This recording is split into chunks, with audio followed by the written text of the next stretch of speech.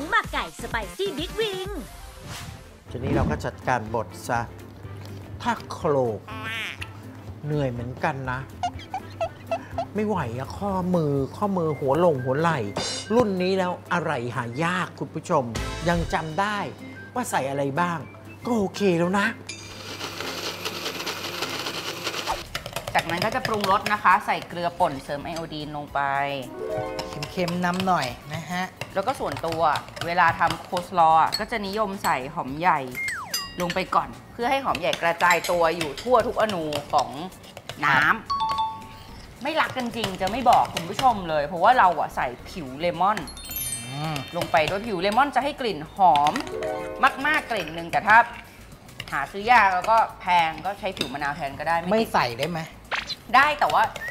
ผิวอะจะให้กลิ่นหอม แบบสดชื่ส่วนนอะไรอส่วย่านงนั้น ความเปรี้ยวจะได้จากน้ำ เพราะฉะนั้นถ้าถามเราเราชอบผิวมากกว่า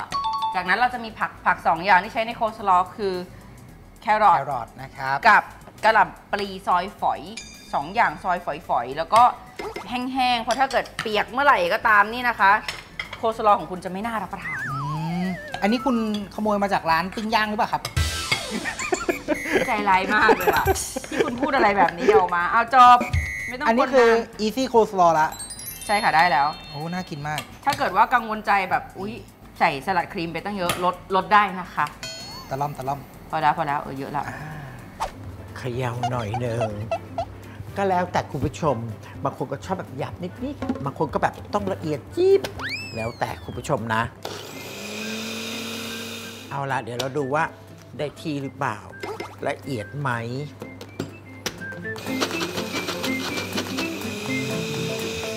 ชัวร์ใช้ได้ คุณผู้ชมมาดูว่ากลิ่นมันเป็นยังไงนะ คุณผู้ชมนะ หอมมาก ไม่อยากบอกนะกลิ่นแบบเนี้ยอยากเอาไปแค่คลุกข้าวนะ ปลาทอดสักชิ้นหนึ่งก็จบแล้วล่ะคุณผู้ชม หอมจจริงหมูกรอบเหลือชิ้นแค่นี้แล้วเอาชิ้นใหญ่ไปไหนเราเมื่อกี้ ผัดพริกเกลือ คุณ วันนี้เรามีเมนูแสนอร่อยจาก Australian Dairy Free Butter Oil ตรา Peerless Foods มาฝากกันละครับ วิธีทำคุกกี้แช่แข็ง ใส่แป้งสาลีทำขนมปัง แป้งมันสำปะหลัง นมผง ผงฟู เคล้าให้เข้ากันเตรียมไว้ ใส่ Australian Dairy Free Butter Oil ตรา Peerless Foods ไขมันวัวธรรมชาติ ลงในอ่างผสม ตามด้วยน้ำตาลไอซิ่ง เติมไข่ไก่และกลิ่นวานิลลาชนิดน้ำ ตีจนส่วนผสมพอเข้ากัน ใส่แป้งที่ผสมไว้ และนมข้นจืด ตีจนเป็นเนื้อเดียวกัน ปิดเครื่อง วดด้วยมือจนกระทั่งเนียน จากนั้นนำเข้าแช่เย็นหนึ่งคืนนำออกมานวดให้เนียนอีกครั้ง แบ่งส่วนผสมที่ได้ 120 กรัมผสมกับผงโกโก้ นวดจนเป็นสีช็อกโกแลตจากนั้นแบ่งก้อนแป้งสีช็อกโกแลตออกเป็น 2 ส่วนเท่าๆกัน คลึงออกเป็นแท่ง แบ่งเป็น 4 ส่วน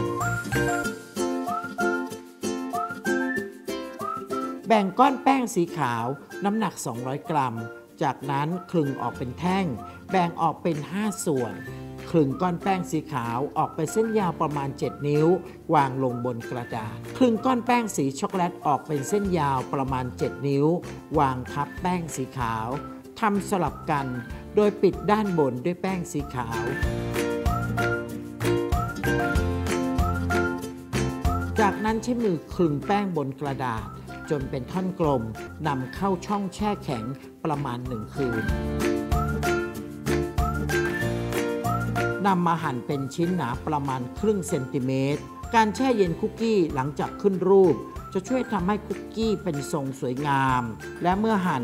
ก็จะทำให้ได้รูปทรงที่สวยงามไม่แตก เลี้ยงใส่ถาดอบ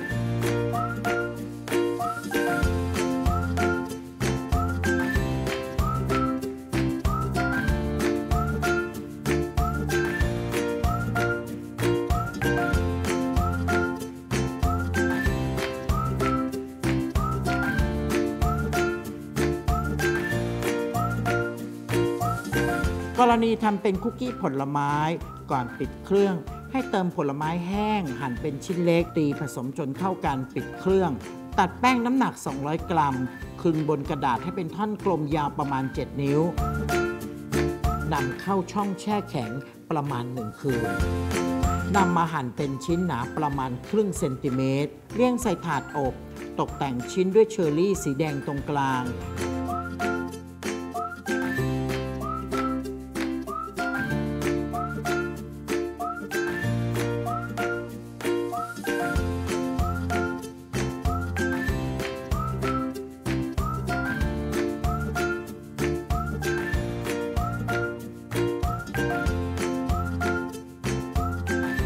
กรณีทำเป็นคุกกี้อัลมอนด์ก่อนปิดเครื่อง เติมอัลมอนด์ก้านไม่ขีดอบสุก ตีผสมจนเข้าการปิดเครื่อง ตัดแป้งน้ำหนัก 200 กรัมคลึงบนกระดาษให้เป็นท่อนกลมยาวประมาณ 7 นิ้วนำมาหั่นเป็นชิ้นหนาประมาณครึ่งเซนติเมตรเรียงใส่ถาดอบ ตกแต่งด้วยอัลมอนด์ผ่าครึ่งตรงกลาง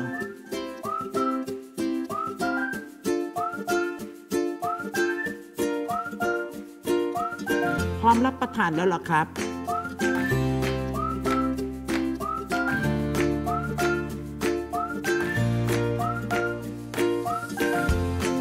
เพียงแค่มี Australian Dairy Free Butter Oil ตรา Peerless Foods ก็จะได้คุกกี้แช่แข็งที่แสนอร่อยแล้วล่ะครับ สั่งซื้อได้แล้ววันนี้โทร 02-381-9240-42หรือติดตามตำรับความอร่อยและความรู้มากมายได้ที่ www.peerlessfoodthailand.com